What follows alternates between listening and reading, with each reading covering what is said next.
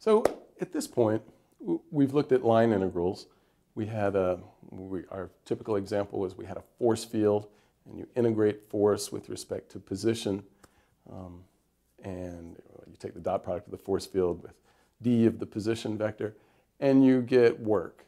Um, and that's our primary motivation for looking at line integrals. And you calculate them, the definition, you parameterize the, the path that the object is moving along, and you, um, well, and then you stick that into the vector field and dot with the derivative of the parameterized path times dt, and you integrate from t naught to t1.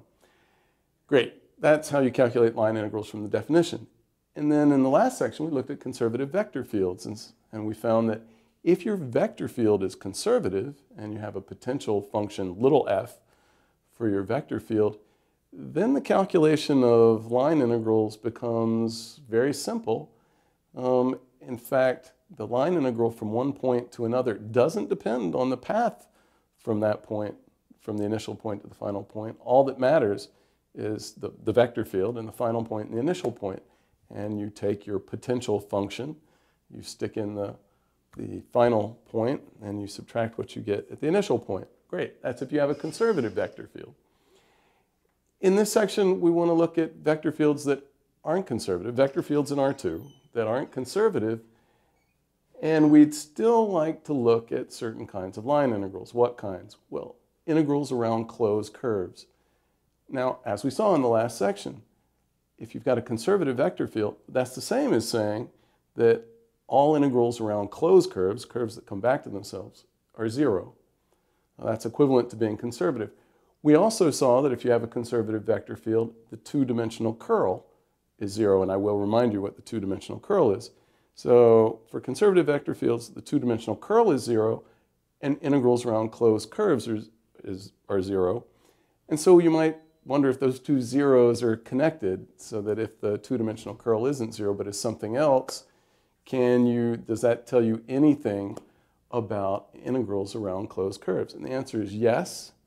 And the big, the big result is called Green's theorem, and it relates the two-dimensional curl to integrals around, to line integrals around closed curves.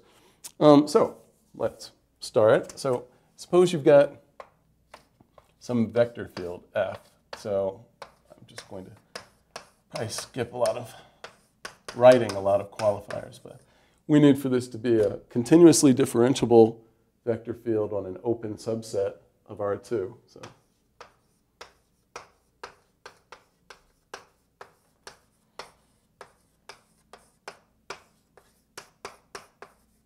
So, well, maybe I won't skip writing words. Continuously, I'll abbreviate, continuously differentiable vector field. And then we want to take, and here, now there are a lot of words. This is a, I want a simple, closed, oriented, mm-hmm, piecewise regular curve. Okay, what do all these words mean?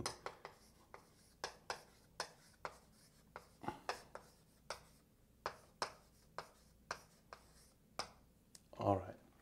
So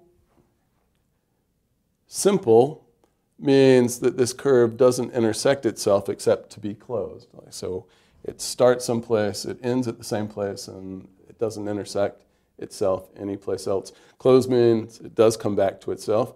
Oriented. I'm going to orient counterclockwise. Now I'm going to orient counterclockwise and in Green's theorem, you think of this as the positive orientation, counterclockwise. This is the, if we were oriented clockwise, that would be the negative orientation. Um, piecewise regular, uh, that's a technical condition, you know what it means. We, we parameterize this by parameterizations that are piecewise regular. Great. Um, it's a theorem then that it's kind of obvious that this separates all of space into two pieces. There's an inside region, a region inside the curve that I'll call R, and a region outside that I won't call anything. Um, we can call this curve, we can call this curve C, but in fact, it's, it's kind of classical to write this round D that we use for partial derivatives, and now let it mean the boundary of R. This is the boundary of R with its boundary of the region R. And we mean it as an oriented curve, and we mean it's given its positive orientation. So counterclockwise, if we wrote negative the boundary of R, that would mean the negatively oriented boundary, which would mean it goes clockwise. Great, so this is our setup. And the question is, can we say anything about the line integral around C, or so around the boundary of R? And yes, we have Green's theorem. Green's theorem that relates the line integral around the closed curve with the two-dimensional curl. Green's theorem. In this situation, the line integral around the boundary of R, f dot dr, is the double integral over the region R of the two-dimensional curl. So I should write, you know, f, f is a vector field. It has on R2, on an open subset of R2, it has two component functions, which I'll call P and Q. In the two-dimensional curl, you take the partial derivative of the second thing, which you kind of think of as in the y position, but it's not, because y is a variable over here. But second thing, you take its partial derivative with respect to x, and you subtract the partial derivative of the first thing with respect to the second variable, and you integrate with respect to area. This is Green's theorem. Here's the two-dimensional curl right here. So the case of, the, of a conservative vector field is when this is zero. Well, then this double integral would be zero, and it tells you that line integrals around closed curves are zero. Well, yeah, right? That's what, that's what we said for conservative vector fields. Um, because R is the inside of a, of a, one of these simple closed oriented curves, R is simply connected, which means that, as I told you last time in the previous lecture, that, oh yes, the vector field F being conservative is equivalent to this being zero on a simply connected region. So yeah, this being zero tells you this is zero, all that's, you know, all those things are zero for conservative vector fields. But Green's theorem says, oh, okay, maybe this isn't zero, but, but we still know how to calculate the line integral around closed curves in terms of the two-dimensional curl, but it's not so simple anymore. All right, um, I want to just look at a couple of examples of this, and then I want to give you an idea of why Green's theorem is true, because it, it looks a little magical. All right, but let's look at a couple of quick examples.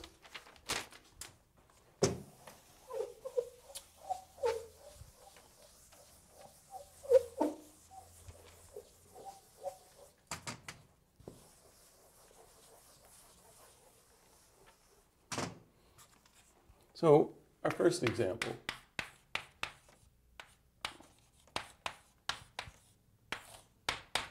F, let's let F be the vector field 4y plus the natural log of 1 plus x squared, comma 6x plus e to the y sine y. Um, we'll think of this as a force field, or we'll assume this is a force field. So that's in newtons. Assume x and y are in meters.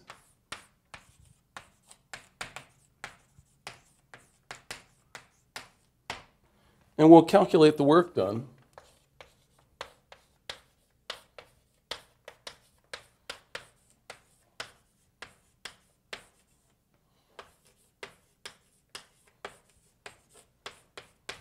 along the closed path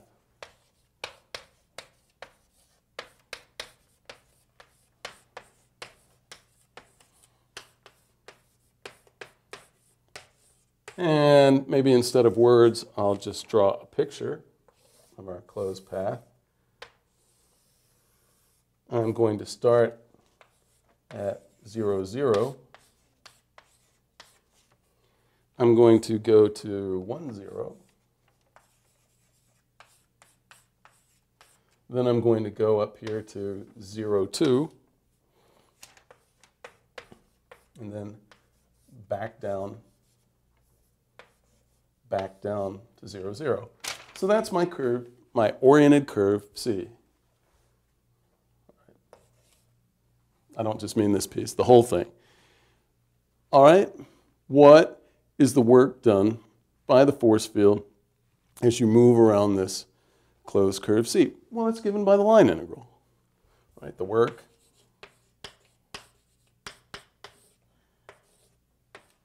as we know, is given by this line integral.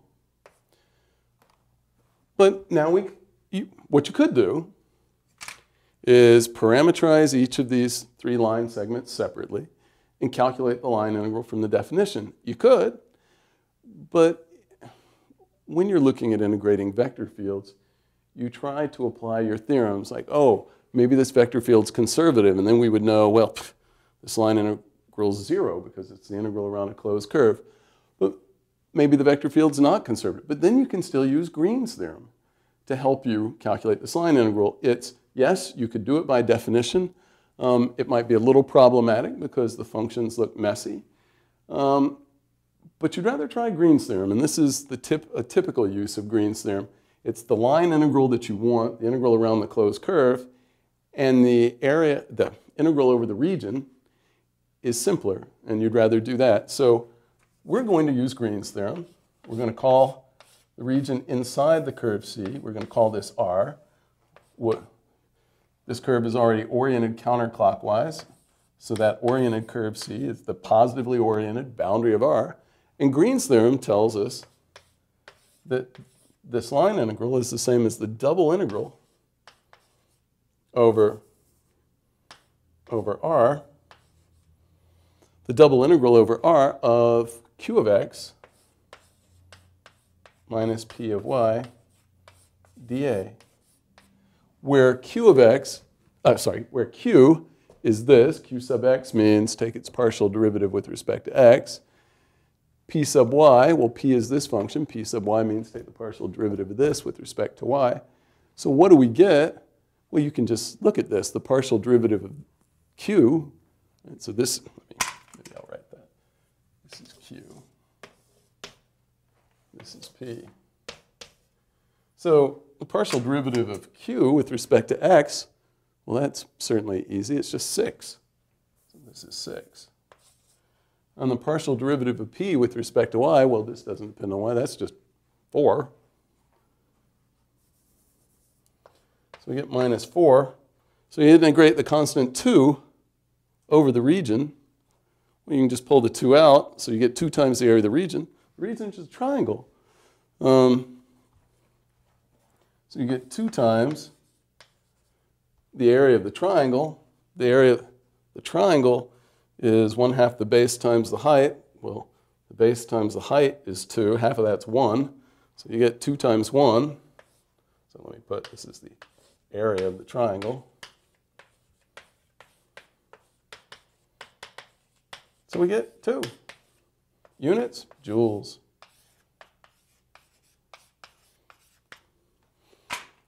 That's one of the simplest applications of, of Green's theorem. Uh, the two-dimensional curl, the q of x minus p of y isn't zero like you'd get in a conservative vector field.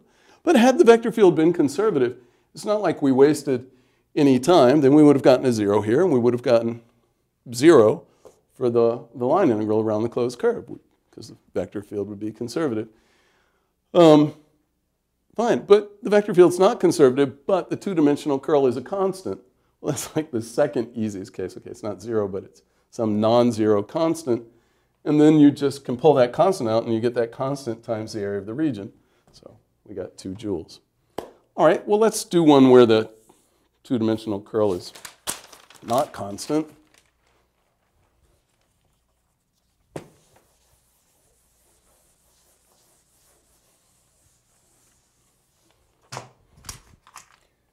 So, example.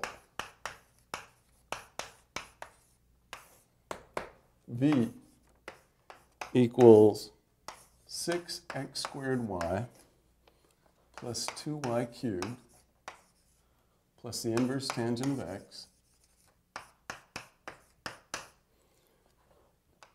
x cubed plus 3xy squared plus e to the y.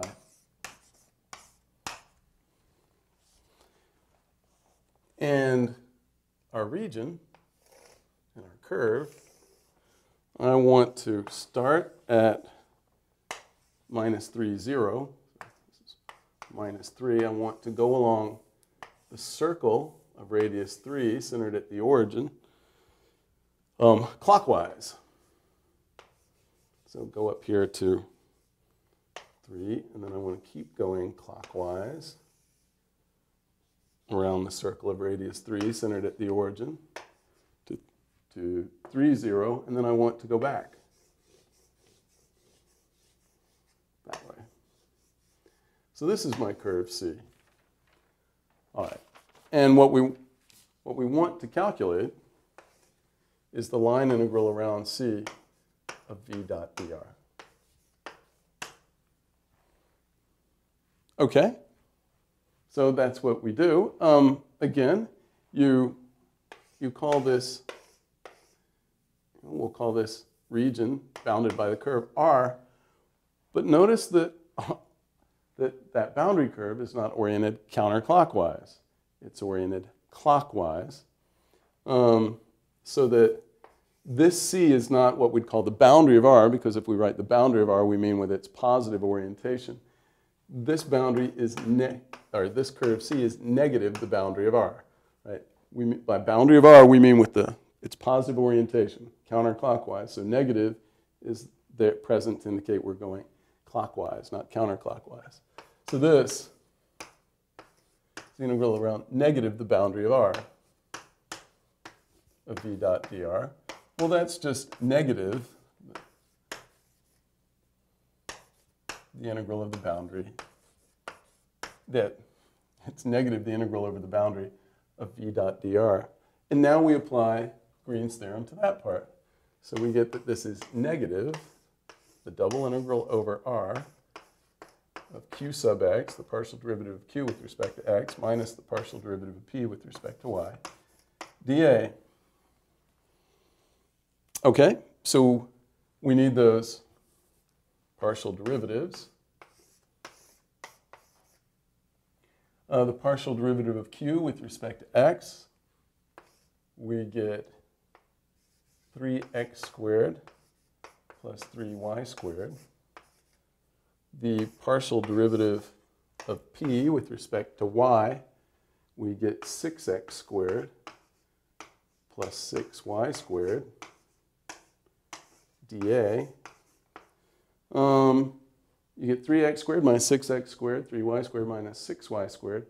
So we get a minus 3 times x squared plus y squared. When we pull out the minus 3, you end up with 3 times, so minus minus 3, positive 3, times the double integral over r of x squared plus y squared dA. This is what we need to calculate. Now, I'll say it again that we are going to do this, and it won't be bad. But I want to say again that what other options do you have? Well, this certainly isn't a conservative vector field. We didn't find the curl was zero. It was, um, it was well, this part's the curl. It was negative 3x squared plus y squared. It's not zero. Uh, it's not a conservative vector field. But you could calculate this line integral by definition. You could parameterize this part of the curve, parameterize this part of the curve, and calculate the line integral from the definition by plugging in the parameterizations, dotting with the derivative of the parameterization, integrating. Um, but, you know, the functions look a little ugly, and we expect this to be nicer. Well, of course it's nicer because it's, it's rigged, because I want to do this example, but um, this will be nicer, and hopefully you see that it is we will switch into polar coordinates. Maybe we haven't done an integral in polar coordinates in a while, but the region is very nice in polar coordinates. x squared plus y squared is r squared in polar coordinates. This integral, this two, two, this double integral, this two-dimensional integral, is very easy. So in fact, I think I'll fit it in right here. You get 3 times the integral of x squared plus y squared is r squared. dA is r dr d theta. We need to integrate over this, the inside of this half circle. So theta needs to go from 0 to pi. Oops, theta goes from 0 to pi. r needs to go from 0 to 3 out to the radius of the circle. And so we need to calculate that double integral. Okay, I guess it won't really fit there, but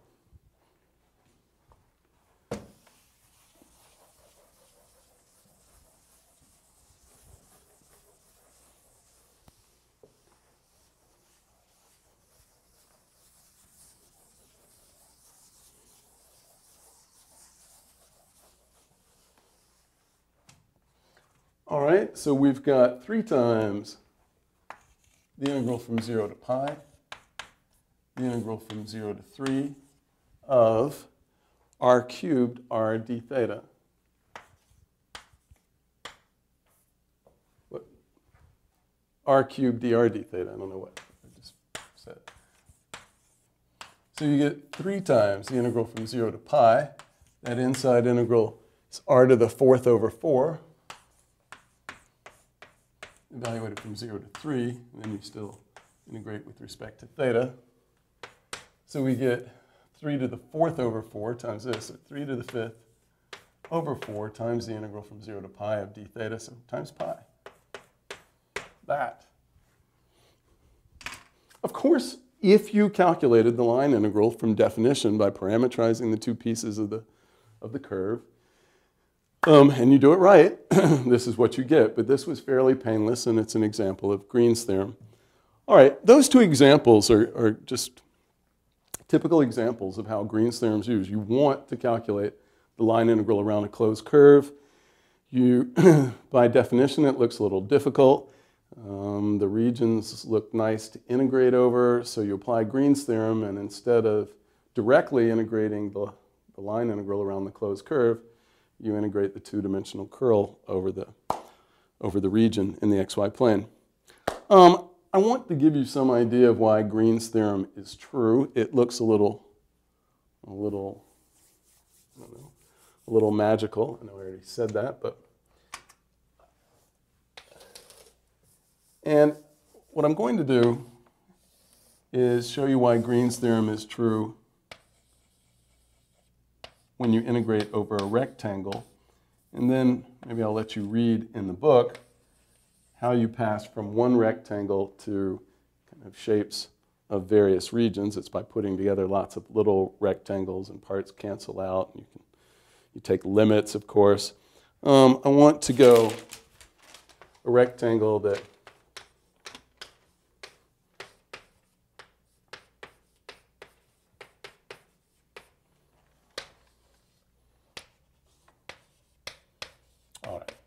So suppose we've got a rectangle, R. So R is the, you know, this filled in rectangle with boundary components C1, C2, C3, C4. I want to show you why Green's theorem is true when you integrate over such a rectangle. And again, we're going to have a vector field F, and we'll assume its component functions are called or we'll call its component functions P and Q. And the first thing I'm going to look at, and in fact it's probably the only thing, and I'll just tell you that you do the other parts in a similar way, is first I want to look at the line integral around C1 plus C3 of f dot dr and I'm going to write f dot dr in one of its equivalent ways, which I don't write terribly often, but it's p dx plus q dy. Because dr is dx comma dy, and when you take the dot product, you get p times dx plus q times dy. So I want to look at this part. This is the integral, this is the line integral that gets this part, it gets the line integral along C1 and the line integral along C3, which goes that way.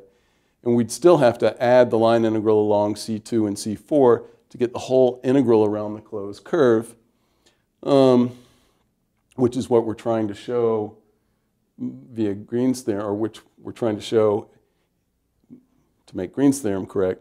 We're trying to show that that's the double integral of the two-dimensional curl over the over the over R. All right. So what do you do? Well, first of all, notice that along C1 and C3, the, the y-coordinate doesn't change. Here the y-coordinate is constantly b. Here the y-coordinate is constantly b plus k. The y-coordinate doesn't change, so the, this dy is 0, and in the line integral you get no contribution from that part. So we just get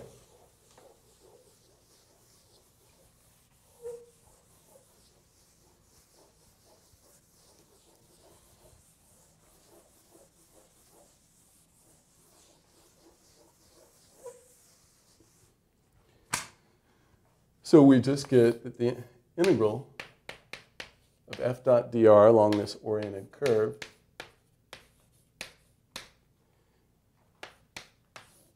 is the line integral of just p dx.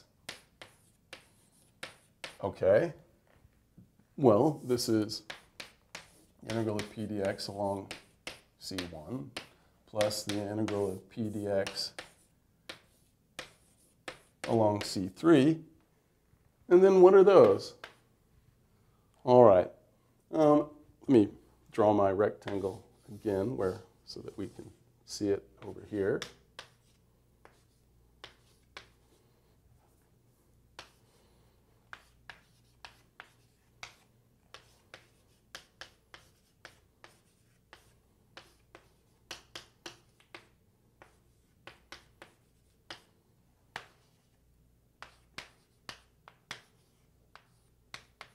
Okay, so what's the integral of p dx along C1? Well, I mean, that's just the same as, oh, uh, your y-coordinate is fixed at b, and your x-coordinate goes from a to a plus h. So it's the integral as x goes from a to a plus h of p of, and your y-coordinate is fixed at b. So your x-coordinate's varying, but your y-coordinate's fixed at b. So it's this. What's, what's this integral? Well, it's now your y-coordinate's fixed at b plus k, and your x-coordinate goes from a plus h to a. So your x-coordinate goes from a plus h to a, and your y-coordinate is fixed at b plus k. And so you get this. Okay, it may not look like we're getting any place good, but we are.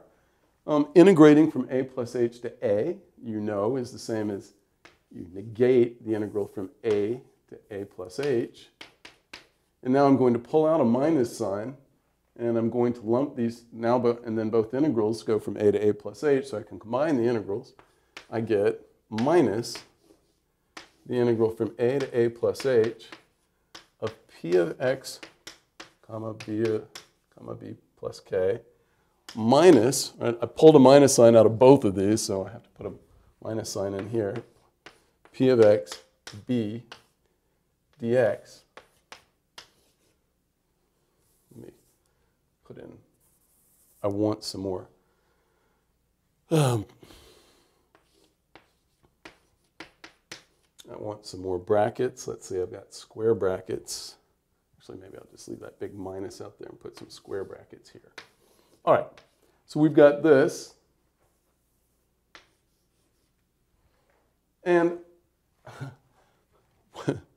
we want to rewrite this. Well, that stuff inside the square brackets is exactly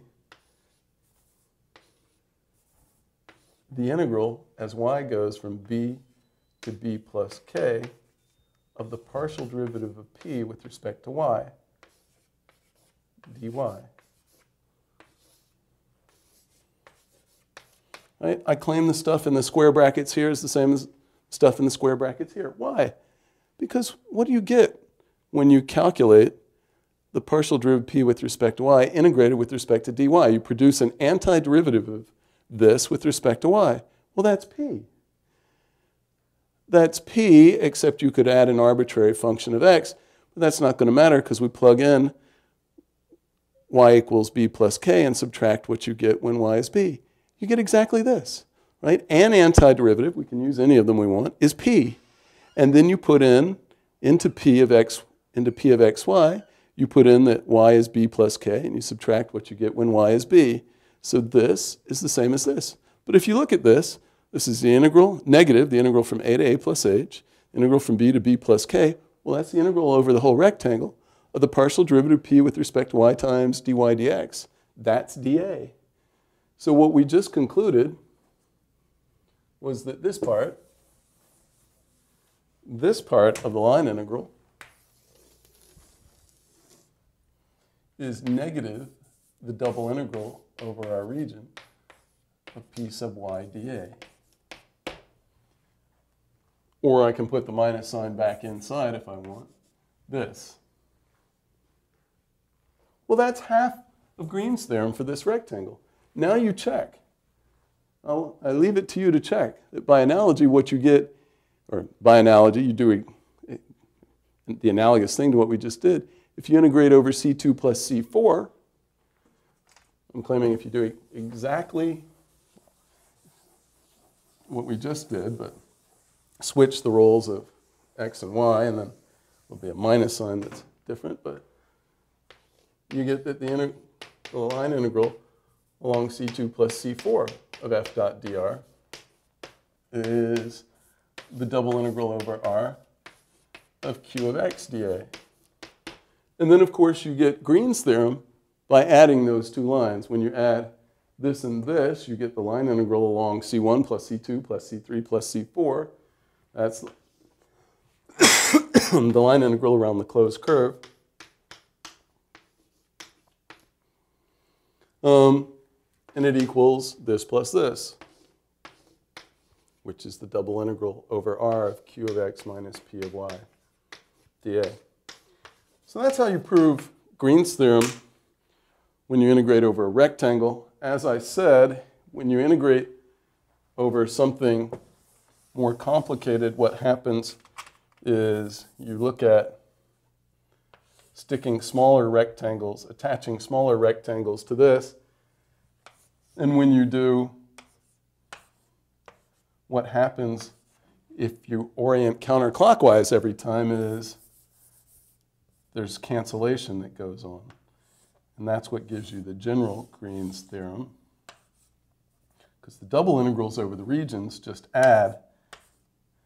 But why do you end up with just the integral over the boundary and not some of the stuff in between. And it's because, exactly because this part would cancel out this part because this orientation goes that way and this orientation goes that way.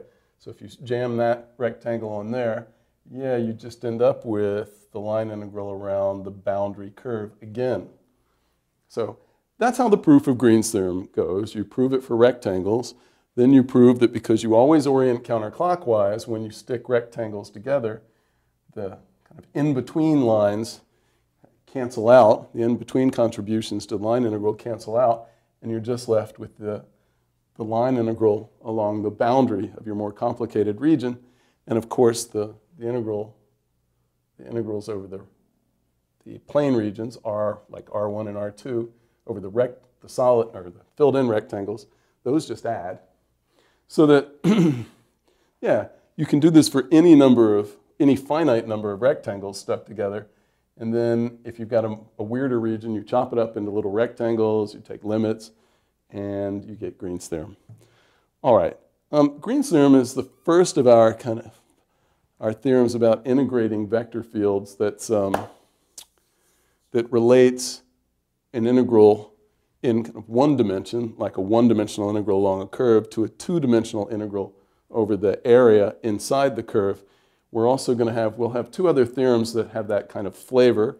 We're going to have the divergence theorem, which relates integrating over some solid region in space. It'll relate that to integrating um, over the surface of that solid region. And then we'll have something that's basically a Green's theorem in space, where you have a surface in space and the bounding curve, and you want to relate um, the line integral along the bounding curve to some integral over the surface. Um, those are far more complicated than Green's theorem. Green's theorem is a good warm-up.